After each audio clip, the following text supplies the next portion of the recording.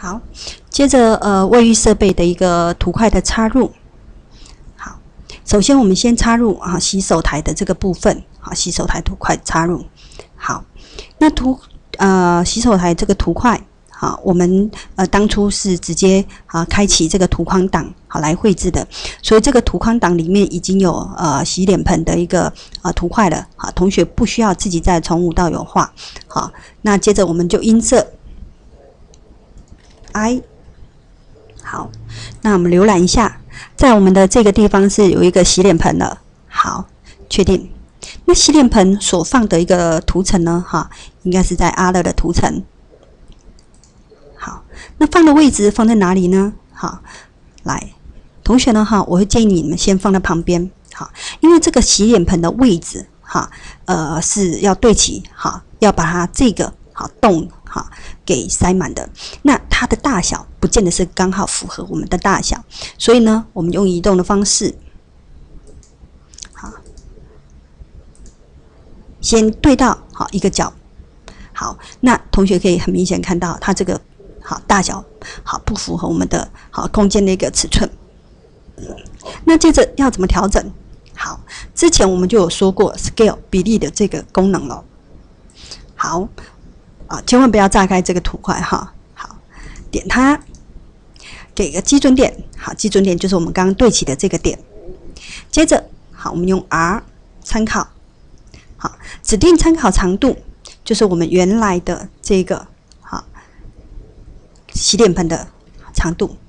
再来新的长度，它会以我们的插入点为第一个点。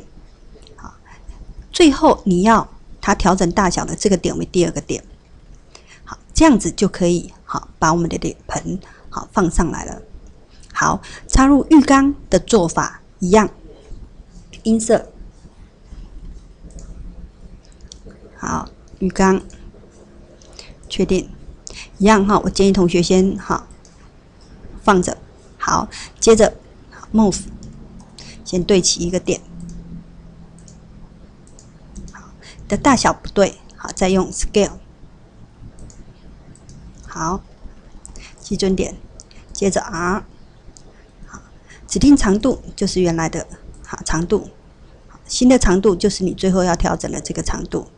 好，那浴缸好也可以好插进来了。好，那再来我们的这个马桶，好，马桶的位置，好，马桶的位置要注意的哈，它这里有距离墙还有二十公分。好，那这个部分因为这里有一个梁，好梁的位置。梁的位置，那梁的位置是没有办法让我们挖洞的哈，所以我们这个粪管污水管的一个排水孔必须要散掉，好，散掉我们的梁的位置，好，所以一样的梁的尺寸，我们先把它画出来。梁在这里，梁的构造是啊四十乘一百六，所以我们这里有一个梁线，好对齐啊柱子的左侧四十，这里有个梁的轮廓线。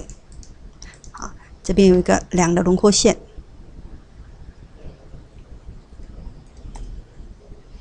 好，那扣除量了以后，这个是挖空的，挖空的距离，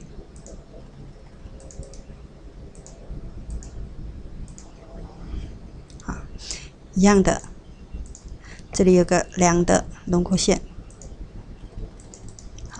这里，好，这样子才会是好我们的管道间。好，接着，好，我们必须要从这个地方追踪出来，好，散掉，好，粪管要挖，好，要挖洞的位置，好，要散掉梁，好，好，这时候再来音色，我们的马桶，确定，这时候直接支中。那这样子就是我们一组啊，脸盆、浴缸跟马桶的一个呃图块的插入技巧。